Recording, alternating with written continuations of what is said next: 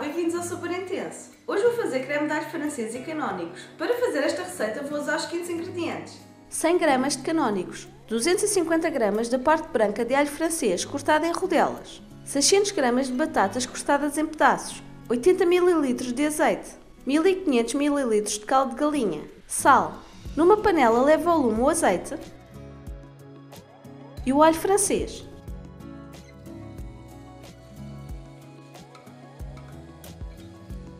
Mexa e deixe refogar sem deixar alourar.